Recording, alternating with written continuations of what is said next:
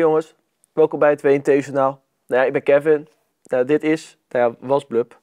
Uh, ja, Blub leeft niet meer en uh, ja, ik denk dat ik maar door de wc moet gaan spoelen. Dat deed mijn vader ook altijd, dus... Hé hey Kevin, wat ga je Oh, doen? hey, um, ik ga Blub door de wc heen spoelen. Ja, dat mag helemaal niet. Oh, oh, nee? Nee, dode vissen moet je gewoon begraven. Oh. Even er langs hoor. Ja. Begraven? Een vis begraven? Maar... Waar dan? Kan dat zomaar? Een vis begraven? Of ik dat nu een pluk?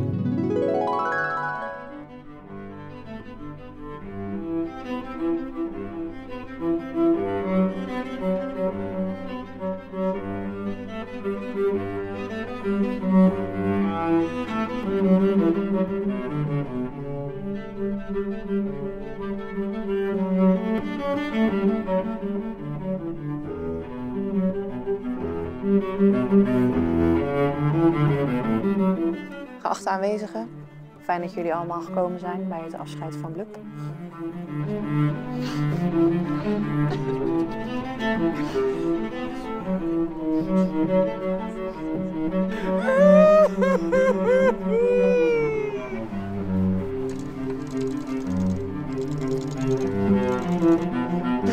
Bedankt Blub, ga je missen.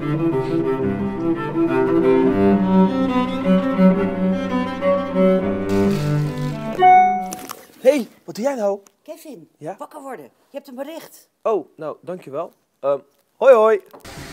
Hey Jante! Hey Veerle! Weet je eigenlijk al dat ik allemaal wel door de wc mag spoelen?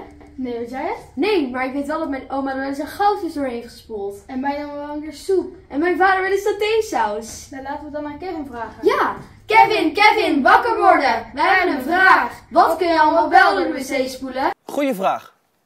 Ik ken iemand die er echt alles van af weet. Laten we gaan. We zijn hier bij Waterschap Brabantse Delta. En ik ben nog aan het wachten op Jelte en Veerle. Uh, oh, daar zijn ze. Hoi, hoi. Nog een condoleer met je vis. Dankjewel. Het was eigenlijk wel een, een mooi afscheid. Dankjewel. Um, ja, zullen we toch, maar, toch gaan naar binnen gaan? Ja, is goed. Kom mee. Dit zijn Jelte en Veerle. Jelte houdt van voetbal en gamen, maar absoluut niet van champignons en chocolademelk. Veerle zit op handbal en hip-hop dansen en vindt witlof helemaal niet lekker. Wauw, wat zie je er goed uit. Hey, daar staat Harry, die heeft antwoord op jullie vraag. Gaan jullie mee? Hoi hoi, welkom op rioolwaterzuivering Nieuweveer van de Brabantse Delta.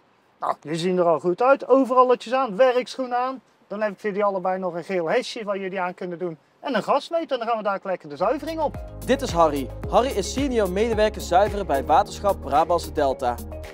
In zijn vrije tijd doet hij graag freestyle snowboarden, mountainbiken met daarna een lekker bordje pasta pesto. Nou, jullie zijn in goede handen bij Harry. Ik moet naar de wc, dus ik zwem er even tussenuit. Doei doeg! Nou, dan doen wij de hesjes aan, de gasmeter bijhouden. En dan blijven wij lekker bij elkaar en dan gaan we de zuivering op. Goed? Ja, ja. Oké, prima. Daar gaan we. We zijn vandaag bij Waterschap Brabantse Delta. Zij zorgen voor schoon en veilig water in rivieren, sloten en beken in Midden- en West-Brabant.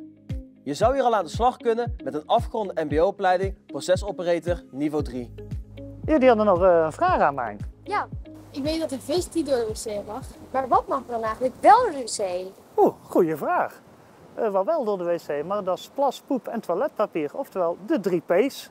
En om dat te zien, hoe dat verder gaat, gaan we nou kijken hoe dat met die plas en die poep gaat gebeuren.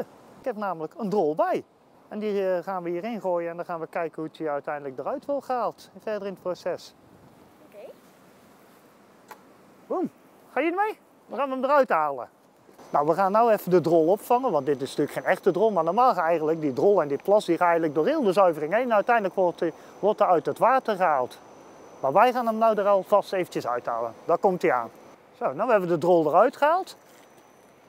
Maar uiteindelijk gaan al die plas en poep, die gaan allemaal verder over heel die zuiveringsinstallatie. En die worden eigenlijk door bacteriën wordt die straks helemaal opgereten. Ja? Ga je mee verder kijken? Ja. Nou, hier zijn we aangekomen op de A-tank. Dat is eigenlijk de eerste trap van onze biologische zuivering. In eh, dit gedeelte zitten bacteriën. Die eten eigenlijk al een gedeelte van het vuil op. En die zorgen dat we ook een goede slipvlok creëren. Die we straks naderhand makkelijk kunnen afvangen hier zo. Je een klein beetje zien als de voorwas van een wasmachine. Hey, voorwas, hoofdwas, dat dit voorwas is en daarachter de hoofdwas. Ja? We gaan mee, gaan we verder kijken. Zo. Even de handen wassen. Kijk. Ik heb mijn gasmeetje natuurlijk al op. Mijn veiligheidshesje ook. Denk dat we gewoon eventjes wel op pad kunnen gaan. Gaan jullie mee?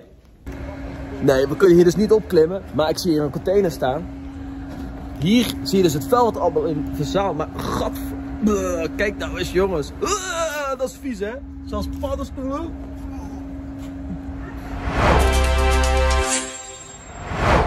Maar hoe gaat het nu verder met die drol? Nou, die is uiteindelijk door de eerste trap gekomen. Dit is, staan we in de tweede trap van de biologische zuivering. En hier zitten eigenlijk bacteriën in die eigenlijk je die drol opeten. Die eten eigenlijk helemaal op. En die bacteriën die vermenigvuldigen. En alles wat we te veel hebben aan bacteriën, dat gaat uiteindelijk naar de slipfabriek.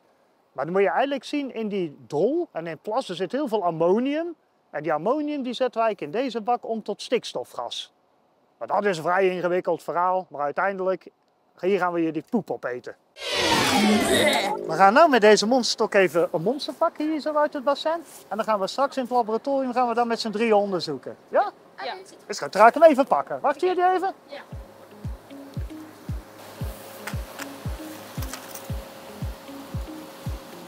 Dit is het monster, dat is een waterslipmengsel.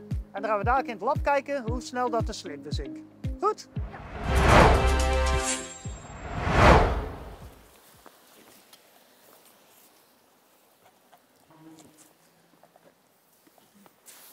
Nou, dit is ons schone water. Drinkwater? Het is geen drinkwater, je zou zeggen van wel, omdat het zo mooi schoon is. Maar dit is eigenlijk oppervlaktewater. Dat is eigenlijk water waar wij lozen vanuit hier zo. Nou, we alles eruit hebben gehaald in de rivier. Nou, uiteindelijk hier hebben we ons schone water en al ons slip waar we, waar we mee hebben gezuiverd, waar overtollig is, dat gaat uiteindelijk naar de slipverwerking, dat wordt daar ontwaterd. Uiteindelijk in de gistingstank bij een temperatuur van 35 graden gaat onze slip daar zo rotten, die gaat gisten. Daar ontstaat gas, eh, komt daarbij vrij. En met dat gas draaien we motoren aan, WKK's heten dat, warmtekrachtkoppelingen. En uiteindelijk moet je dat zien als een, eh, motor met, een, eh, met een gasmotor. Daar zit een soort dynamo aan. En met die dynamo, net als bij je fiets, wekken we stroom op. Hé, dus bij je fiets ook, daar fietsen rond die dynamo doen en dan ontstaat stroom. En dat gebeurt bij die motoren ook. En bij de warmte die daar vrijkomt, dan kunnen we de gissingstank op temperatuur houden. En zo'nzelfde installatie hebben we ook in de wijk Haagse Beemde staan. En daar eh, wekken we dan met ons gas werken we ook energie op. Maar ook eh, warmte komt daar vrij. En daar hebben we 500 huishoudens, 500 huizen in de wijk Haagse Beemde hebben we daar stadsverwarming van. Dus dat is een heel mooi project zo. De volgende stap is bij de tussenbezeektanks. Die zijn hier achter me. En zoals jullie zien zijn er allemaal vogels. We gaan er even op staan. Het water komt namelijk in deze grote tanks hier terecht, hier achter mij. Het eh, vet, dat gaat hier opdrijven en dan snoepen die vogels van. Het vet wat op het water ligt, daarom waren die vogels het allemaal hier. En het slip drijft langzaam in het water, dat bezinkt. Het overtollig slip wat hierin zit, gaat daar naar achter toe, naar de slipfabriek. In die slipfabriek wordt het overtollig slip omgezet naar energie. Dus wordt er gewoon energie van gemaakt. Tof hè? Nou, we zijn nu in het lab gekomen met ons monster. Doe even eh, je die eh, hesjes uit. Labjas aan, handschoenen, bril. En dan gaan we ons bezinksproefje doen. Nou, oké. Labjas aan, bril op, handschoenen. Dan gaan we ons bezinkingsproefje doen. Daarnet waren we bij de beluchtingstank. Daar hebben we ons monster genomen. Helemaal vol zit met die bacteriën. En uiteindelijk zijn we naar eh, de nabezink gegaan. Daar hadden we ons schone water, waar we in het oppervlaktewater lozen. En dan uiteindelijk, als we, wil jij het eh, misschien er even ingooien? Dat is goed.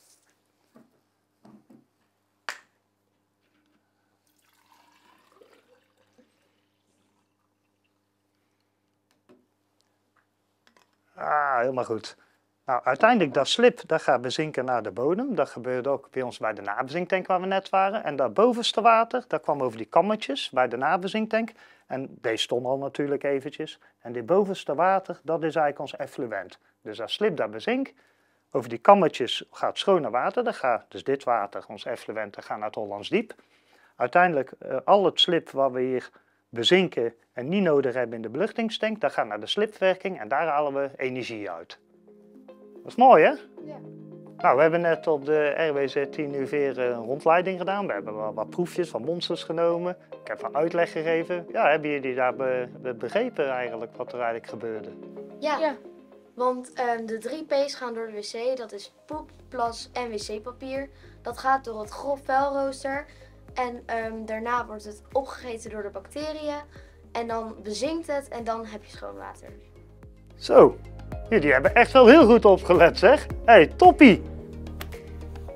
Beste leerlingen, Oh, hey. Hoi, wat een interessante dag. Wat hebben jullie gedaan? Dan moet je zelf maar gaan kijken op het WNT-journaal. Doei! Ehm, doei. Heb jij nou ook een leuke vraag voor het WNT-journaal? Stuur hem in. Doei.